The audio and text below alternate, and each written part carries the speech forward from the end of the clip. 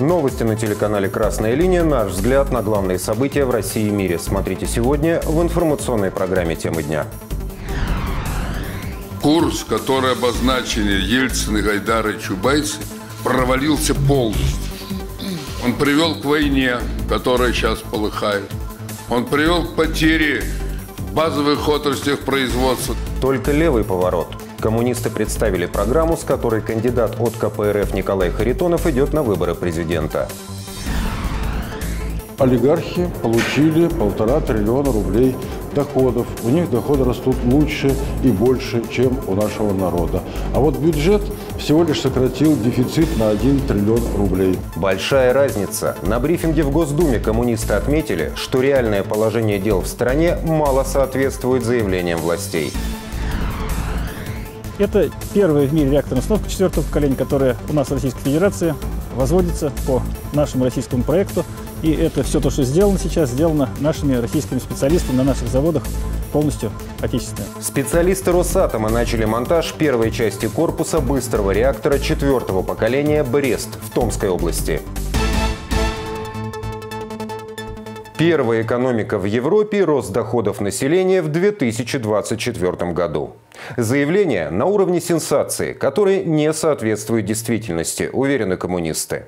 О реальном положении дел в стране депутаты фракции КПРФ рассказали на брифинге в Госдуме. Одно из главных достижений прошлого года – рост экономики России более чем на 3%. И первое место среди экономик Европы. Но это первое место довольно условно, потому что по э, объемным показателям мы вышли всего лишь на 2021 год, на уровень 2021 года. А то, что в Европе первые, ну, потому что европейская экономика опустилась ниже, чем наша.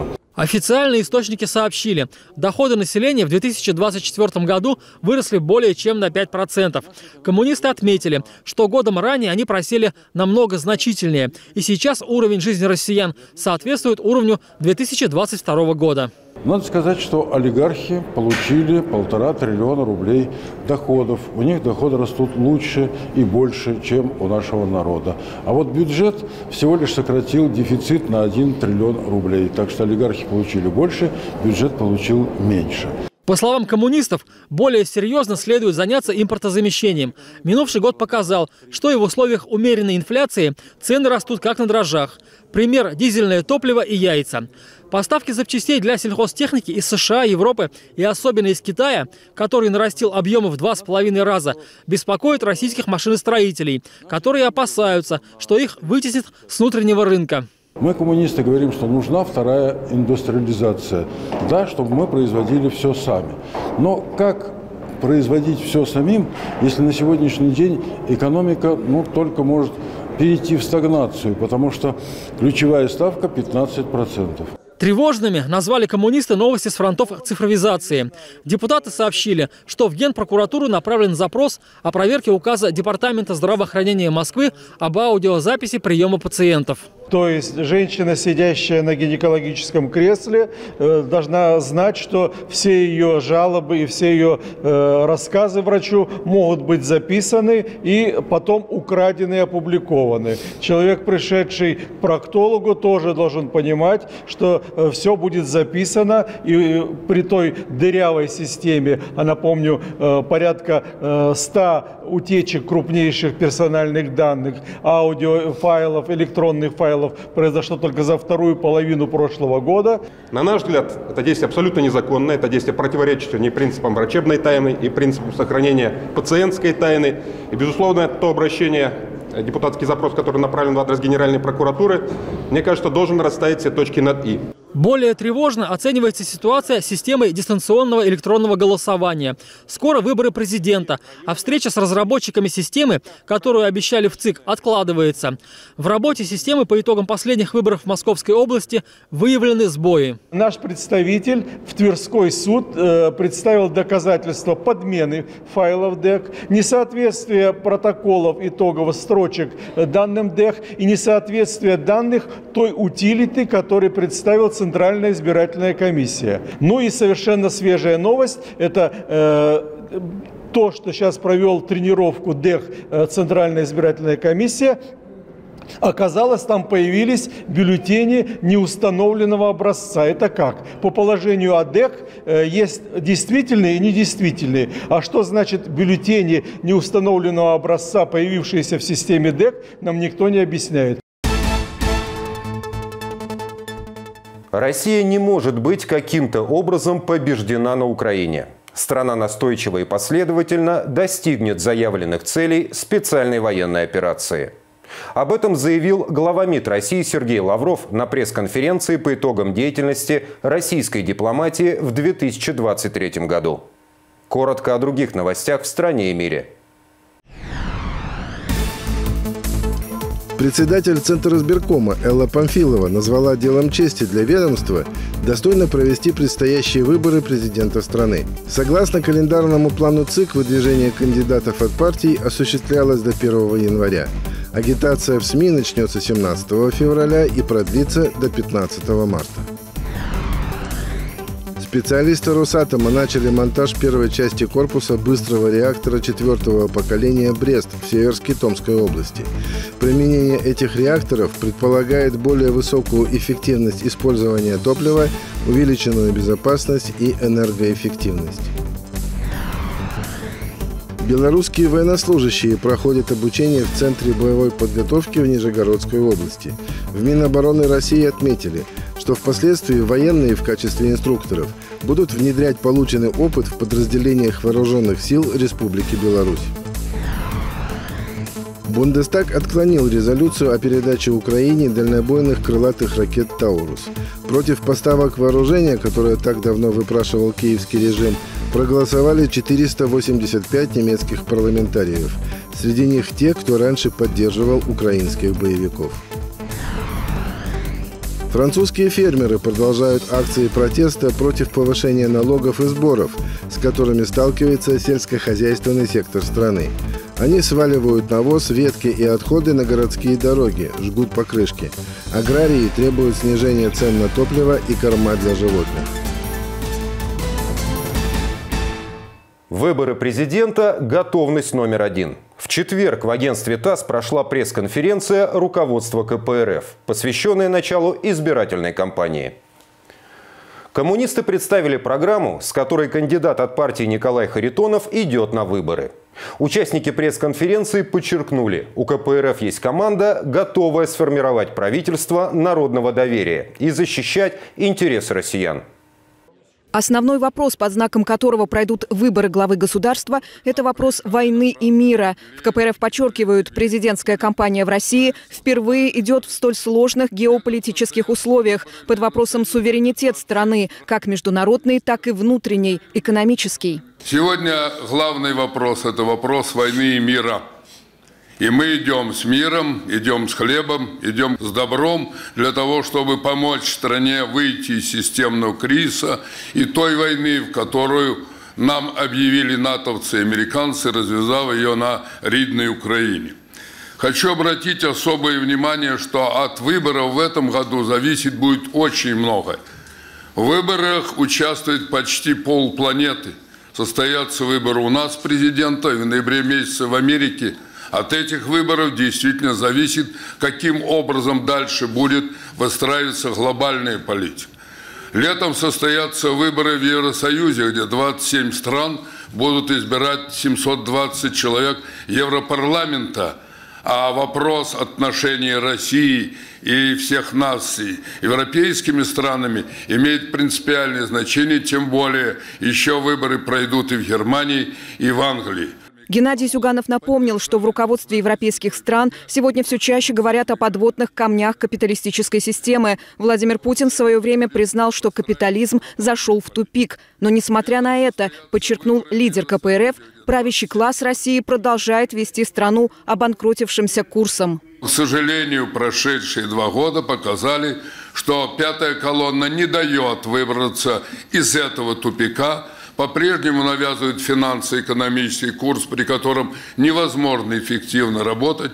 При ставке в 16% вы не решите проблему импортозамещения. При ценах, когда дорожают цены на бензин и солярку, на капусту и яйца, вы не обеспечите и не справитесь с тем, чтобы остановить вымирание страны. Она теряет полмиллиона граждан. Для этого нужна принципиально иная финансово-экономическая политика. Председатель ЦК КПРФ обратил внимание журналистов. Результатом совместной работы коммунистов, опытных производственников и ученых стала программа партии по преображению страны. В ее подготовке активно участвовал и кандидат в президенты Николай Харитонов. И мы вместе с Николаем Михайловичем провели три крупнейших финансовых форума экономического, социального у меня народе на Орловщине и получили реальный результат – этот результат реализовали прежде всего народные предприятия. Наш совхоз имени Ленина показал в прошлом году лучшие результаты. По всем показателям прирост 20-30%, уплачены все налоги, средняя зарплата 120 тысяч, полная социалка и каждая вторая семья многодетна.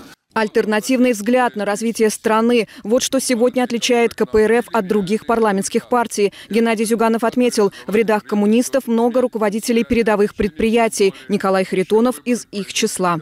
Николай Михайлович – один из тех, кто еще в 27 лет был назначен руководителем крупного хозяйства и за все эти годы показал пример, как можно трудиться, сражаться, защищать Родину и отставить ее. Вместе с ним идет большая, сильная профессиональная команда. В стране растет запрос на левую повестку дня. С этой темы начал свое общение с журналистами Николай Харитонов. Он подчеркнул, россияне все чаще сравнивают советское прошлое и настоящее. И это сравнение не в пользу современной России. На самом деле, вот встречаясь буквально вот три дня мы были на Хабаровске, но народ невольно спрашивает, как так? У нас есть все. И невольно вспоминает советское время, после Великой Октябрьской революции, когда в кратчайший срок партии Ленина, Сталина, большевиков, буквально понимая, зная, что не избежать войны 1941 года, провели модернизацию, промышленное развитие, провели в кратчайшее время модернизацию всех линий народно-хозяйственного направления. Тяжеловато, но встретили войну 1941 года и победили.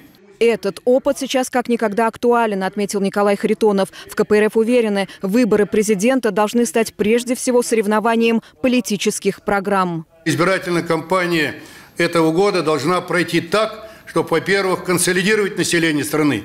Во-первых, кто бы ни победил на выборах, он обязан учитывать каждый голос, каждую программу каждого кандидата. Только тогда мы можем консолидировать население потом. В нашей программе четко мы определились, заявили – Поиграли в капитализм и хватит.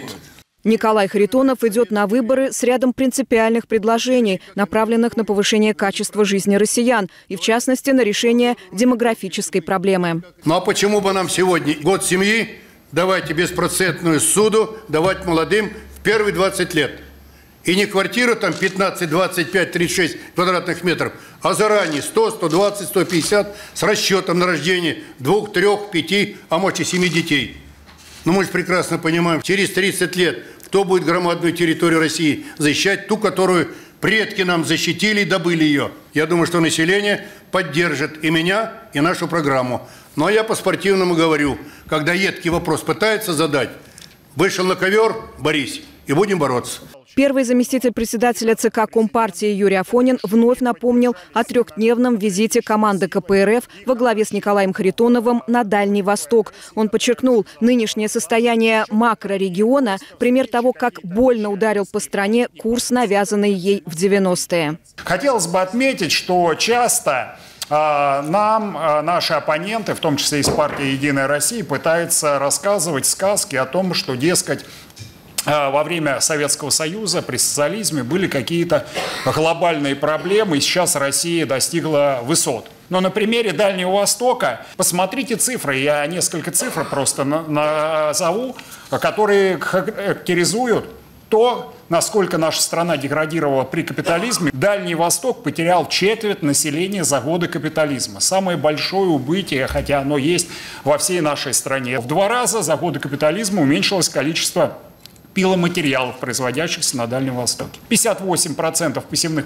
площадей потеряно за годы капитализма, половина производства мяса и более половины производства молока. Минувшее 30-летие больно ударило по социальной сфере. Сегодня коммунисты настаивают на принятии, наконец, комплексных мер поддержки семьи и прежде всего многодетной. Если это многодетная семья, два года мы об этом говорим. Вместо закона, на котором мы настаиваем, который обеспечивал бы гарантии многодетной семьи, нам обещают указ президента. Мы согласны, пусть это будет формат указано, но очень хотелось бы, чтобы это сопровождалось выделением финансовых средств. Обрадовать вас не могу, потому что на 130 миллиардов сократилось финансирование даже материнского капитала. Поддержка молодежи – еще один важнейший пункт в документах, с которыми Николай Харитонов участвует в выборах. Программа КПРФ – это высокая стипендия, которая будет приравнена к МРОД.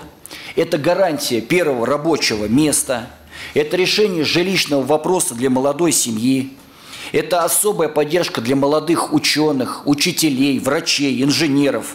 Это бесплатный доступ к спорту, творчеству, культуре – все это будет реализовано. На пресс-конференции коммунисты представили основные тезисы своего плана восстановления вооруженных сил страны. У нас есть план, он во многом выполняется. Это и увеличение военных округов, и значит, система управления меняется в лучшую сторону, как мы и предполагали в своем, в своем плане. И оргштатная структура сейчас на базе бригад, которые вот были нехарактерное такое для России соединение, дивизии восстанавливаются. Мы должны решить эту задачу. Должны разгромить фашизм и обеспечить безопасное, суверенное положение нашей страны на других стратегических направлениях. Особое место в программе, с которой Николай Харитонов идет на выборы, занимают предложения партии по развитию русской национальной культуры, сохранению традиций, отметила секретарь Союза писателей России Лариса Баранова-Гонченко. Если бы Николая Михайловича Харитонова не было, его бы надо было придумать. Но, слава богу, он есть.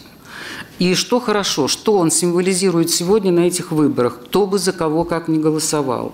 Он символизирует вот это, вот это коллективное соборное сознание, потому что все-таки действительно звание директора совхоза это на всю жизнь. Это дорогого стоит. Мы оторвали наш, наш, особенно нашу молодежь вот это, от этого сознания, уважения и любви к деревне. Теперь и это все надо возвращать. возвращать. И Харитонов э, вот этим своим движением, он должен э, ну, просто обязан морально победить. Завершая пресс-конференцию, Геннадий Зюганов подчеркнул, будучи частью, причем слабой частью глобального капитализма, Россия не сможет сохранить независимость и с успехом развиваться. Важно, чтобы это понимал каждый избиратель страны. Курс, который обозначили Ельцин и Гайдар и Чубайсы, провалился полностью.